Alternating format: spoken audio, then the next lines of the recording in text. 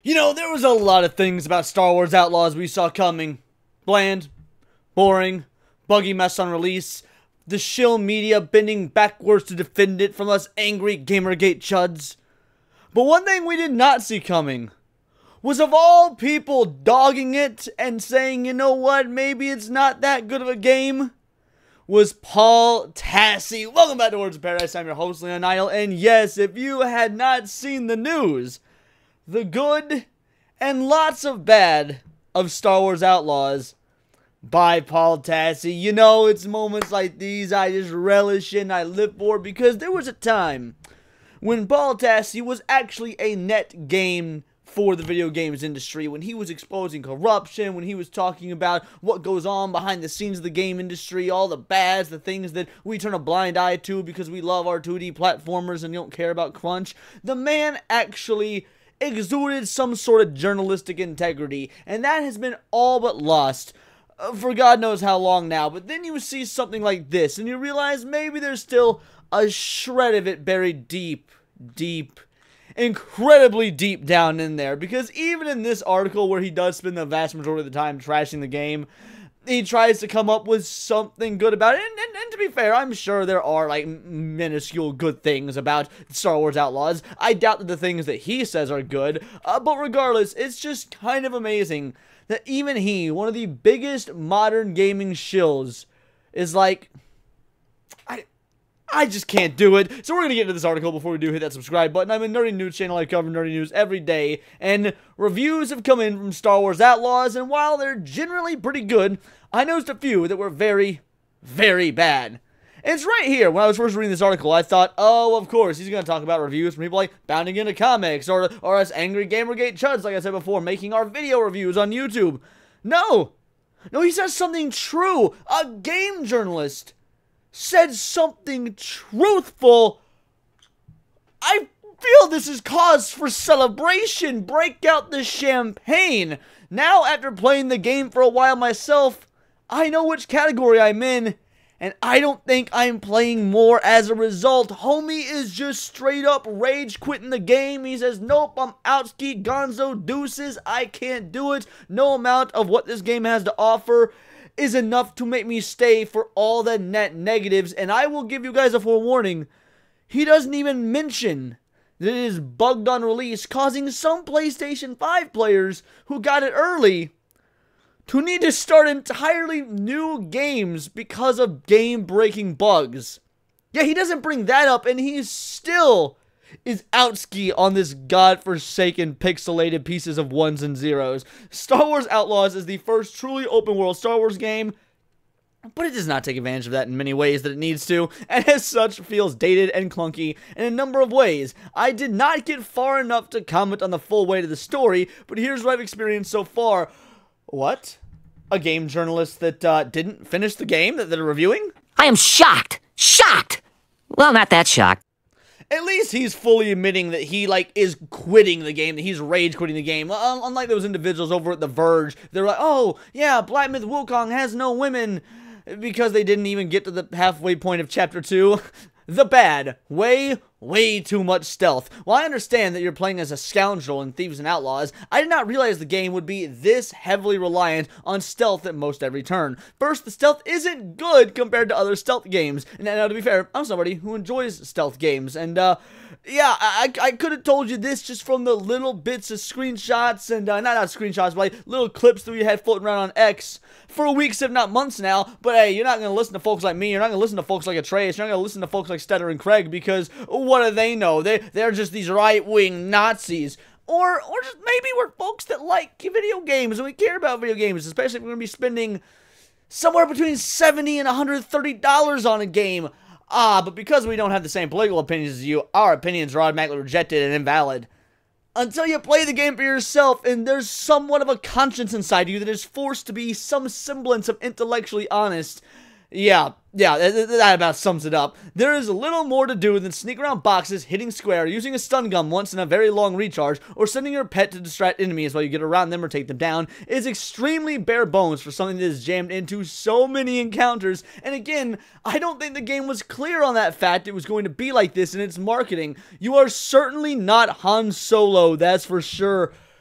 That one paragraph alone is such an epic takedown of this game. And I don't want to give the man credit because, uh, again, he's not doing it to appease us. And to be fair, he shouldn't be. As a reviewer, he should come out and he should be honest and he should have integrity and he should give a review full of what one could look at and think, I trust this man. But you haven't done that in so many years because you decided to pick an ideological side. Now we see you, we're like, oh, look at that. He's agreeing with us. But he's only agreeing with us because we have been objectively correct. We have seen the writing on the wall. We've been calling this out for literal months now and now you're seeing it, but you can't give us anything. You can't be like, yep, in this instance I was wrong. Those those Gamergate guys actually maybe do care about video games. You know, maybe maybe these folks are out there just uh, talking about something they love, and it's not just some a bunch of you know Donald Trump voters secretly pretending that they owned a GameCube back in 2005. Like, no, no, no, we're here because we care, Paul.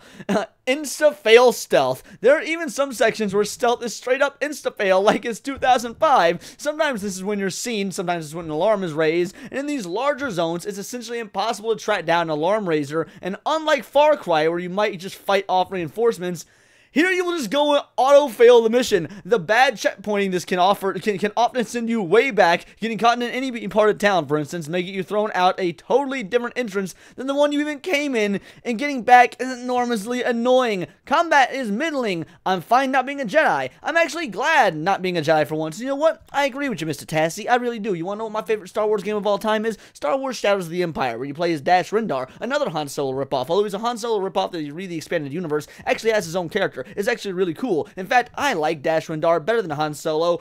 I know that's probably to get me in some hot, some hot water, a little bit of trouble, but hey, at least you know that I'm a legitimate Star Wars fan who reads the EU and doesn't just fake it, so there is that. The Division bullet sponge problems with many enemies, this was made by the Division studio, and the strangest decision was to have Kay use a pistol and pistol only with a few different mods for the entire game. Another weapon you pick up is temporary and will be lost when you do essentially anything. Leave a zone, perform an action, get on your bike, anything, you drop it, you're shooting a pistol for 90% of the game when you're not doing take takedowns behind boxes. Those same takedowns we were criticizing for, again, frame rate being bad, glitches being bad. Oh, yeah, she also just sort of uses the back of her hand to lightly tap on a stormtrooper's noggin and apparently makes him go full knockout. Um, there is so much about this game to criticize, and he's getting some of it, which again I can respect, but also, home, this, this gotta be like the biggest I told you so ever.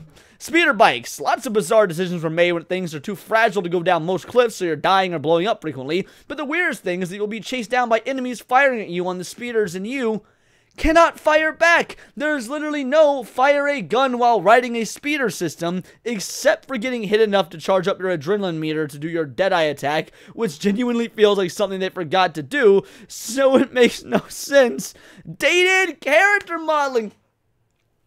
You mean for all of us grifters that talked about how this character model looks nothing like her actress, how they, and I get it, you're not talking about how the model is ugly like we are, but because she objectively is when you look at the model she's based off of, which is uh, something that the Japanese studios and these other Eastern studios have been able to nail perfectly. It's a little strange to say that we don't have the technology for that, but no, no, no, you're just straight up saying the character model is bad, which is something else we were talking about. It wasn't just, oh, look at Kay Vess, she's not hot enough it was it was a bad model, and we've seen that from the trailers and from the moments that gameplay was released. When IGN released over 10 minutes of gameplay footage and we roasted the shit out of it, what did you think it was going to get better three weeks later when it was set to release? Because this footage isn't exactly very old.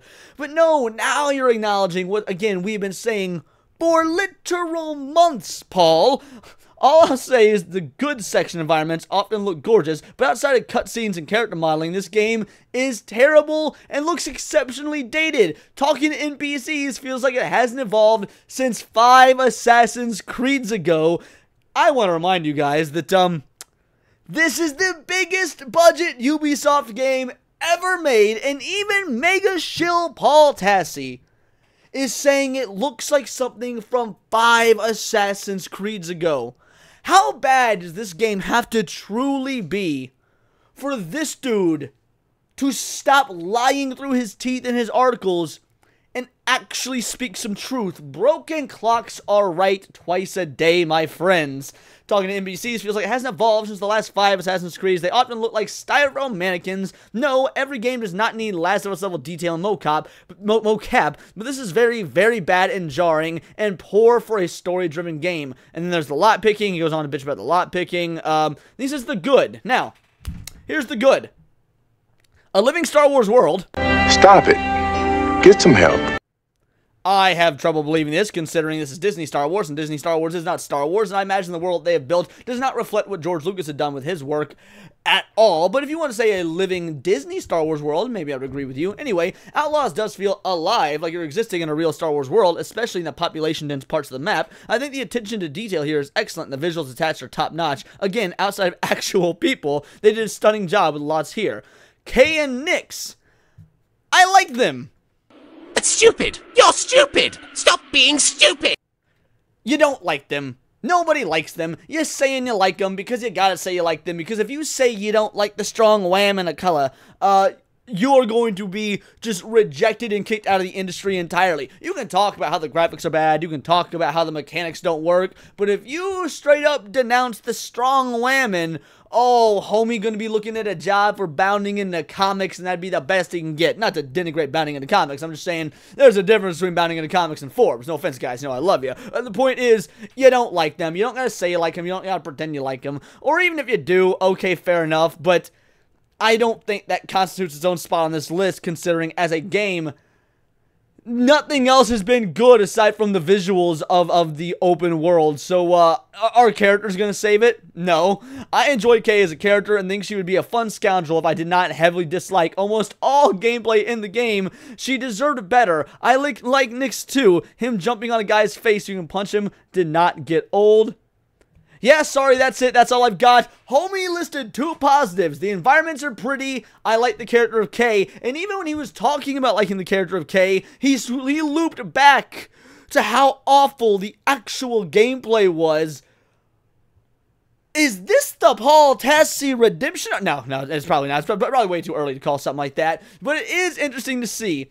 I am definitely not as far as reviewers, and this is not a review with a score, as I don't score games I don't finish. I will give you, and I mean this genuinely, Polyboy, if you ever see this, I will give you respect for this. You not scoring a game you haven't finished is far more than we can say for folks over at Screen Rant, The Verge, Kotaku, Polygon, IGN, uh, uh, The Mary Sue, and I can go on and on. And, and yes, I know those are your colleagues, and you're probably upset that I'm calling them out like that. But again, you, I guess in some instances, are better than them because you acknowledge you didn't finish the game, you're honest about the fact you didn't finish the game, and you're not going to give it a scoring grade because you didn't finish it. Again, every now and again, the journalistic integrity does creep back into this guy's soul. Uh, I have core problems. The game I will uh, will not go away, and in some instances get worse. As much as I'd like to see the rest of Kay's story, if I'm not enjoying essentially anything about how the game actually plays, I'm not going to subject myself to more this is a two for two on Mr. Passy, uh, Tassi. Like, like he's gotten two dubs in a row when it comes to talking about Concord and when it comes to talking about this. Because again, his Concord video